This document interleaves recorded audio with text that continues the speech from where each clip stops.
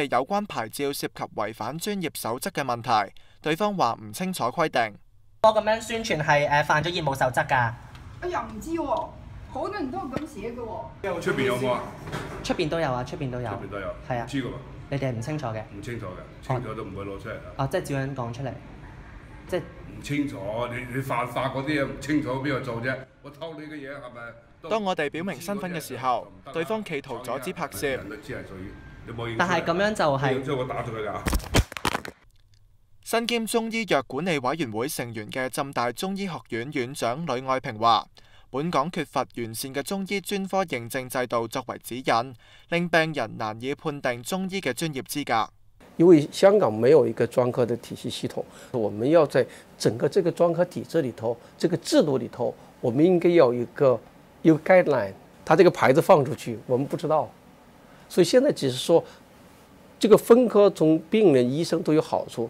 他现在需要的是，就是中医药的相关的规管的一些机构，包括大学，应该要做些这样类似的一个 guideline 来认证这样的一个东西。也就是说，你这真是达到了这样一个标准才算。佢又话，而家已经着手同其他大学嘅中医学院以及注册中医师学会合作，喺现行三大分科底下，研究点样设立一个专科认证制度。